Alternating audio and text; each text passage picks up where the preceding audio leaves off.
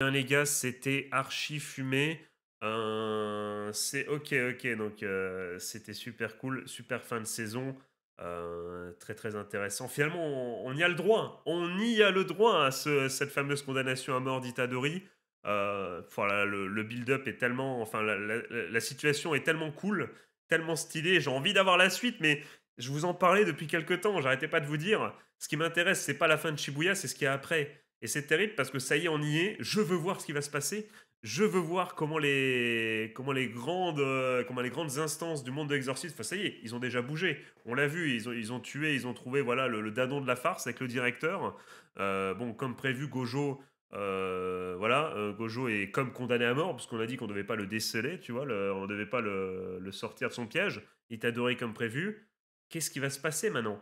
Et chose intéressante, il est tout seul. Euh, elle a ramené tous les autres élèves. Euh, mais quid de Megumi, les gars? Quid de Megumi? Euh, C'est ça la vraie question, les gars. Enfin, c'est pas ça la vraie question, mais tu vois ce que je veux dire, parce que il a rien eu lui, il n'a pas été puni, il a pas été puni alors qu'il a envoyé le Pokémon encore une fois. Donc il est, c'est lui qui a envoyé l'un des deux, comment dire, l'un des deux, l'un des deux monstres qui a provoqué pas mal de morts. Et il s'en sort sans rien. J'ai du mal à imaginer ça, surtout que tout le monde a été puni. Il va sûrement bénéficier de son statut d'élève, entre guillemets. Euh, et on va sûrement juger. Enfin, peut-être que le directeur, ou peut-être que, voilà, c'est dans les papiers, ils ont fait en sorte, ils ont appuyé sur le fait que c'était obligatoire. Et j'imagine, j'imagine qu'il s'en sort comme ça. Mais euh, ça voudrait dire qu'on a Megumi qui, qui est du côté de, des exorcistes, entre guillemets. Je le vois mal euh, accepter que son bro de la vie se, fasse, euh, se fasse exécuter. Je ne parle même pas de Todo, évidemment, euh, et de tous les persos qui possiblement pourraient se dire Attends, quand même, c'est Itadori, tu vois, quand même, c'est notre pote, c'est notre bro, on va pas le laisser comme ça. les questionnements, tout ça, avec en plus le fait est que Gojo, on, nous dit que personne, comment dire, que personne ne doit le, déceler. je pense qu'il y a pas mal de monde qui va dire si, si. si enfin, il y a pas mal de personnes qui vont avoir envie de le, de comment dire de, le libérer et peut-être même que Utah en a envie. Peut-être même, parce que là, il, dit j'obéis aux ordres, tout ça. Si ça se trouve, euh, fumer pour fumer, ok, il va peut-être buter Itadori pour suivre les ordres, mais peut-être que s'il trouve Gojo en chemin, euh, peut-être qu'il va le sauver quand même, tu vois. Est-ce qu'il est vraiment euh, si à la botte du monde de l'exorcisme que ça Parce que voilà, c'est censé être maintenant le plus fort, donc enfin quasiment, de ce qu'on a compris. Donc à partir du moment où tu es le plus fort, est-ce que tu as vraiment envie de, de, suivre les ordres Voilà. Surtout que ça y est, il a changé de, il a changé de peu coup. Euh, c'est plus la victime du début. On le savait déjà, mais tu vois, est-ce que vraiment, euh, est-ce qu'il est, vraiment dans l'équipe euh, du monde de l'exorcisme Tu vois, est-ce qu'il va pas, voilà. Puis même, je dis ça, mais ça se trouve, il accepte de, buter Itadori, mais peut-être que il va pas le faire. Hein. Peut-être qu'en fait, il a d'autres projets. Peut-être qu'il veut libérer Gojo. Peut-être qu'il va, il va s'allier avec Itadori, je ne sais pas, on ne sait pas ce qui va se passer. Toujours est-il que quid de la fin, enfin on a compris le plan du coup qui était derrière le mastermind euh, dans la tête de Ghetto, tout ça, j'ai pas retenu le nom. Mais moi les amis, euh, la vraie question que je me pose encore une fois, c'est euh, Sukuna. Sukuna, enfin c'est quoi l'un... Quel est le but? Tu sens que, à mon avis, le, on va l'appeler Ghetto, même si c'est pas Ghetto, mais voilà, j'ai la flemme de dire à chaque fois le mec dans la tête de Ghetto. Tu sens que Ghetto, euh, dont son plan, euh, tout est prévu. Donc il avait sûrement prévu le fait que, Itadori soit en fuite. Donc que ça continue. Mais c'est quoi? C'est la recherche, c'est pour que du coup Itadori continue sa recherche, trouve d'autres doigts, euh, et que Sukuna finisse par posséder entièrement et revivre vraiment comme à l'époque et devienne vraiment Sukuna? Sauf que c'est pourquoi Parce qu'encore une fois, je ne sais pas dans quel monde on s'imagine Sukuna se dire bon ben ok j'accepte j'écoute ce que tu me dis ton plan est bien joué c'est bon il y a, plus que des exorcismes c'est cool c'est ce que je voulais. Euh, mais pourquoi faire? Qu'est-ce qu'il en a à foutre? Qu'est-ce que Sukuna en a à foutre que euh, qu'il y ait soit que des exorcistes soit qu'il y ait des exorcistes et non exorcistes il s'en bat les couilles non? Qu'est-ce qu'il en a à fumer? Qu'est-ce qu'il en a à péter pardon? Euh, le seul intérêt ça serait quoi euh, ça serait que comme il n'y a que des mecs qui sont qui comme il y a que qui est que pardon que des exorcistes euh, eh bien si tu laisses les plus forts entre eux peut-être que voilà ils vont ils vont s'entraîner ils vont devenir de plus en plus forts et l'évolution va faire qu'il va y avoir un putain d'exorciste. Et Sukuna veut se battre contre ce putain d'exorciste c'est ça? C'est euh, il cherche un il cherche un combat? Mec il a déjà le combat. Ça a aucun sens. Frérot bats-toi déjà contre Gojo. Tu vois, tu as servi de, table basse à Gojo. C'est peut-être ce qui va se passer d'ailleurs. C'est peut-être ce qui va se passer. C'est peut-être le projet de Sukuna. C'est peut-être aller libérer, aller libérer entre guillemets, enfin aider Itadori à libérer Gojo pour après prendre possession de, Itadori de façon pleine et se taper, faire son combat contre Gojo. C'est peut-être ça. C'est peut-être ça. En fait, je vois que ça. Pourquoi Sukuna aiderait euh, Ghetto? Ça n'a aucun sens. Ça n'a... Enfin, le mec est dans Ghetto, vous avez compris. Ça n'a aucun putain de sens, les amis. Je... En fait, je vois pas. Parce que d'un côté, le mec qui est dans Ghetto a l'air d'être un mastermind, mais je vois pas, en fait, euh, ce qu'il attend de Sukuna. Parce que là, il lui, il lui a parlé directement à la fin de l'épisode. Euh, est-ce que c'était de la provoque? Ça se trouve, on n'a pas pensé à ça. Ça se trouve, c'était de la provoque en mode voilà je, tu sais ce qu'il te reste à faire tu vois pour l'énerver en mode vas-y bon toutou euh, en sachant très bien qu'il va pas faire ça. Euh, c'est peut-être ça, c'est peut-être contre Uno, contre Coms. Ah, je savais que tu n'allais pas. je savais que tu savais que je savais. Tu vois, est-ce que c'est ce genre de truc-là? Je ne sais pas. Toujours est-il, les amis, quelle, euh, quelle saison, les amis, quelle saison. Est-ce qu'on peut en faire un résumé rapide? Est-ce que je peux donner mon avis vite fait sur cette saison? Vous le savez, je vous en avais parlé. la première saison, je l'avais trouvée sympathique de par évidemment l'animation, mais vous le savez, moi je suis plutôt un homme, euh, comment dire, des, personnages, de l'évolution des personnages, des scénarios.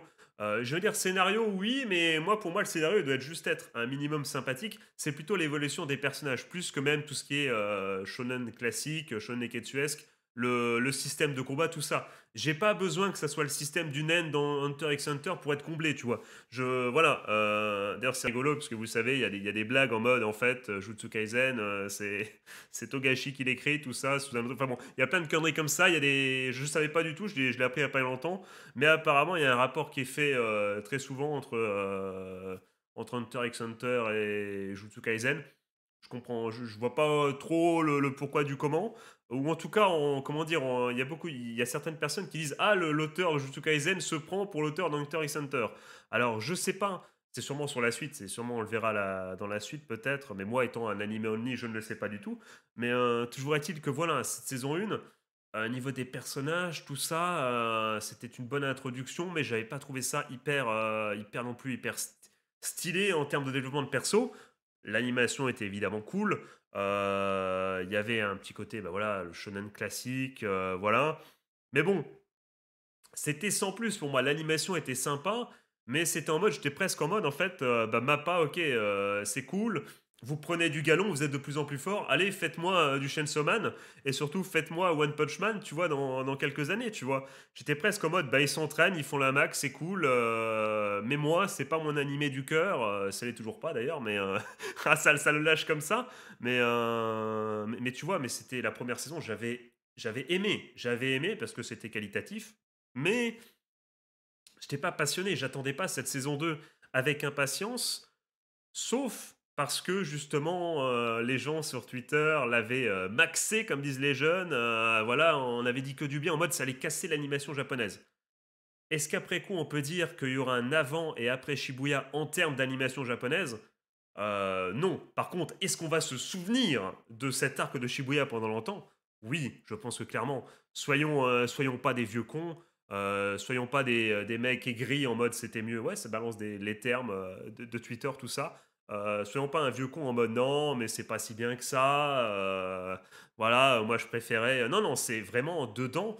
Il y a des passages. Euh, et c'est rigolo parce que pour moi, le passage, je vais vous le dire, on va, on va dire les termes, le passage le plus iconique de toute cette saison, c'est pas le combat Sukuna contre le Pokémon. Ça aurait pu. C'est en termes d'animation, je trouve que c'est le. Quoique, quoique. Mais il y a plein de trucs iconiques. c'est vrai que les combats ont mis, ont mis la max aussi parce qu'il y a le combat Sukuna contre le Pokémon, très stylé visuellement.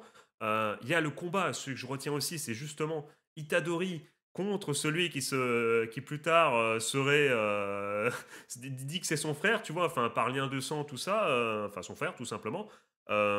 j'ai trouvé le combat me rappeler, tu vois, les vieux films d'arts martiaux, tout ça, donc c'était très très très très cool. D'ailleurs, il y a sur Twitter, il y a des gens qui parlent du fait que les scènes d'action sont souvent pour être prises de films Hitman, tout ça pour moi, c'est des hommages. C'est voilà, c'est euh, des hommages. Faut arrêter de voir et dire il copie ci, il copie ça. Euh, clairement, euh, si vous vous l'avez vu, le studio l'a vu, le studio sait que vous l'avez vu et le studio veut sûrement que vous le voyez. Voilà, donc pour moi, c'est des hommages. C'est des hommages c'est cool. Moi qui aime ce genre de film, c'est très très cool qu'il le, le fasse. Toujours est-il que j'ai, voilà, ce combat était cool, mais la scène la plus iconique de cette saison, pour moi, ça restera ce bon vieux Morito. Donc pour ceux de YouTube, si jamais je mets effectivement ce résumé sur YouTube, pour moi, la scène la plus iconique de Shibuya, c'est Morito, je l'appelle comme ça, donc c'est Moito, ma, Mo... Ma, Maito, je sais pas comment il s'appelle, son vrai nom c'est quoi? Je l'ai toujours appelé Morito, ça me tue, vous voyez de qui je parle? Surtout vous allez le reconnaître quand je vais vous dire la phrase. C'est ce moment où il se retourne, ce bon vieux Morito, et il dit Mais pas besoin de gueuler, je t'entends euh. Oh là là, quand il lui dit ça, mais j'ai pas besoin de gueuler, je t'entends très bien, il t'adorait comme ça. Mais le Seiyu, il est juste parfait. Là, t'as vu que j'étais pas Seiyu du coup. Mais oh là là, mais c'est juste parfait. Mais cette scène, elle est, elle est je l'adore. Elle restera hum, gravée dans ma mémoire pendant très très longtemps. C'est tellement un fils de pute à ce moment-là. C'est incroyable. C'est juste, c'est juste la meilleure punchline au meilleur moment. Franchement, c'est d'une justesse incroyable. Et le Seiyu sur cette seule phrase a été mais tellement, il a fait tellement le taf. C'était incroyable. Puis bon, c'était cool. Euh, enfin, c'était cool entre guillemets euh, de voir évidemment Itadori sombrer au fur et à mesure, de se demander pourquoi, euh, voilà, euh, quel était, euh, pourquoi Morito fait ça et compagnie. C'était stylé, les combats, et même le combat entre Itadori et, et Morito, très très sympa. On a J'aime bien l'appeler comme ça, ça me tue. on n'a pas l'habitude de voir par moment ça voltiger tout dans tous les sens. Par moment, vous vous souvenez, à un moment, il y a une espèce de mur de fléau qui se met, hop, ils sont dans un, dans un, dans un endroit très restreint, comme ça, on n'a pas l'habitude de voir ce genre de combat. C'était vraiment très très cool à suivre. En plus, ben voilà, il y a, y a, plein de suspense. Enfin, il y a, du coup, il y a ce suspense de la, la fameuse amie dont j'ai oublié le nom. As, comment elle s'appelle je, ne sais plus comment elle s'appelle, mais est-elle morte, est-elle vivante, tout ça. On a eu évidemment un des passages les plus stylés avec Chad. Euh, Nanami, Chan Nanami qui arrive comme ça et qui dit à l'autre euh, ferme ta puce. Je sais plus ce qu'il lui dit, mais c'est tellement, c'est tellement chadesque, c'est le mal alpha par excellence. J'avais kiffé de ouf ce moment avec le, le, fou de blond là, quand il lui avait mis euh, la misère. Bon, malheureusement, Nanami, voilà, c'était terrible. putain, putain. En tout cas, quoi qu'il arrive, on ne pourra pas reprocher à l'auteur, euh, je crois que c'est ce bon vieux GG, je crois, si je dis pas de conneries, à ce bon vieux GG, de, de, de ne pas tuer ses persos. Ça, il n'y a pas de souci. Après, attention, bon là pour le coup non, clairement c'est pas le cas, mais attention à ne pas tomber dans la facilité du euh, on tue des gens pour tuer des gens. Non, on veut pas veut pas de ça dans les mangas. Dans les histoires, ça sert à rien. Et d'ailleurs, c'est pas le cas dans Shibuya. Chaque mort, voilà, a son impact euh, et sert à quelque chose. Voilà, donc c'est non, il n'y a pas de souci de ce côté-là. Mais à noter qu'il, euh, que l'auteur n'hésite pas à tuer du coup ses, ses persos. Euh, qu'est-ce que je vais dire? Je vais, peut-être me moucher vite fait. Hop.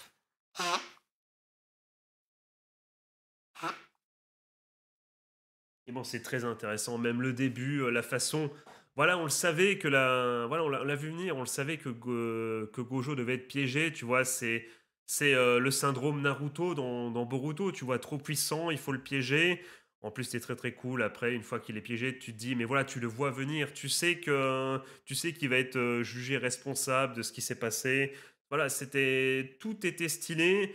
En plus, il y a même des trucs un peu cachés qu'on peut essayer d'analyser. Par exemple, euh, il y a le fait que Nanami, son, son rêve, ça, ça, a été de c'était d'aller en Malaisie sur la plage tranquillement, kiffer sa vie euh, en silence tranquillement de son côté, et que finalement le seul moment où on voit la Malaisie dans la série, c'est quand Mei Mei fait cette, euh, cette scène, euh, voilà, moralement très très peu, voilà, vous-même voyez de quelle scène je parle, mais je pense qu'évidemment c'est fait exprès, c'était fait exprès, c'était pour dire, ben tiens, vous, vous vouliez voir Nanami en Malaisie, et ben vous avez l'autre connasse qui fait des trucs bizarres avec son frère, enfin son supposé frère, encore une fois, on n'a pas, le, pas les tests ADN, voilà, je, je suis pas sûr, on sait jamais, tu vois, qu'il y a quand même une sacrée différence d'âge. Euh, mais tu vois, mais elle, fait ça, elle, a, fui, entre guillemets. Euh, bon, ça, on n'est pas sûr. Elle a peut-être plus rien à faire, ça, on suis pas sûr. Mais il y a cet effet un peu de. Elle est plus au combat, tu vois, elle a presque fui. Elle s'occupe, elle s'occupe, pardon, de son fric, clope à la, bouche. Tu vois, c'est très intéressant, tu vois, cette, euh, cet antagonisme, euh, cette, comment dire, cette opposition entre le rêve de Nanami le brave, le Tchad absolu, tu vois, qui est mort en héros, entre guillemets, et d'un autre côté, euh, Mei Mei, euh, la, sorcière, euh, crache ton venin, qui elle s'est retrouvée euh, avec son frère à faire des trucs bizarres en Malaisie, du coup. Donc je pense que c'était assez intéressant. Il y avait du, comment dire, il y avait du, il y avait un second niveau de lecture, c'était très très cool. Euh, non, franchement, très très très bonne, très très bonne saison. Après les amis, encore une fois, moi, depuis milieu de Shibuya, ce que j'attends, c'est la suite. C'est voilà, c'est on savait que comment dire que Itadori ça allait mal se finir, enfin mal se passer, qu'il allait forcément être condamné à mort. C'est quoi la suite maintenant? Euh, Vous, si vous suivez le, manga, vous le savez déjà, mais moi, je n'en sais rien du tout. Euh, et surtout, bah, je suis, voilà, il y a tellement de, questionnements. Le monde, ça y est, il est changé. Qu'est-ce qu'on fait? On est vraiment, on est à un tournant du récit, et je suis très curieux de ce qui va se passer parce que vraiment, on est, on est au moment où l'auteur peut prendre mais vraiment 15 000 directions. Qu'est-ce qu'il a choisi? Qu'est-ce qu'il a décidé? L'avenir nous le dira. Du coup, les gars, on va juste comme d'habitude aller sur MyAnimeList et euh, se mettre, comme d'habitude, ça fait genre euh, une saison que je fais ça seulement avec vous, ça n'a aucun putain de sens. Euh, on va aller sur MyAnimeList et noter cette série. Alors attention les gars, c'est purement à titre indicatif. c'est juste pour, voilà, pour avoir, entre guillemets, un, enfin, c'est pour résumer ma pensée et surtout pour, pour vous donner un ordre d'idée. Mais encore une fois, tu vois, un 8 pour quelqu'un peut être un 9 pour quelqu'un d'autre, un 6 et tout. En sachant qu'en plus, sur My généralement, la note la plus faible, c'est 5. Tu vois, euh, si tu mets en dessous de 5 à un animé, c'est que vraiment, ça pue la merde. Donc finalement, ça se joue entre presque entre 5 et 9, puisque qui met 10, tu vois, 10, c'est vraiment, pour moi, c'est les animés qui ont une, une valeur, euh, tu vois, vraiment particulière. Il y a une histoire derrière, il y a quelque chose en plus, tu vois. Euh, il s'est passé quelque chose dans ta vie euh, où ça a été un moment très important. Et du coup, cet animé, même s'il n'est pas parfait, mérite la note de 10. Euh, voilà, c'est pour moi. Donc, c'est voilà, les notes, c'est pour vous dire que voilà, ne vous énervez pas si la note ne convient pas à ce que vous, ce que vous pensez euh, de cette saison. C'est vraiment purement indicatif, encore une fois. Et du coup, les amis, pour toutes ces raisons, je pense. Après, c'est très spécial parce que moi, du coup, je ne l'ai vu qu'en React avec vous. Je ne l'ai pas revu de mon côté. Donc, ça a joué, tu vois, c'est une façon très très spéciale de voir les animés. Mais en tout cas, je pense. Euh, alors, je, changerai peut-être. Euh, tu vois, c'est là, c'est à, à, chaud, tu vois, c'est à chaud. J'hésite entre 8 et 9. Je vais quand même mettre 9. Voilà, parce qu'il y, y a, vraiment il y a eu des moments où on était euh, hypé de ouf. On va pas faire le mec aigri. franchement, c'était c'était fumé. Après, encore une fois, j'attends encore plus la suite, ce qui arrive après, les gars. J'ai hâte de savoir ce qui va se passer. Euh, franchement, voilà. Et du coup, les gars, ce que je vous propose, c'est que pour YouTube, si ça sur YouTube finalement, je vais euh, cutter la vidéo là. Je vous souhaite passer une bonne journée, une bonne fin de soirée.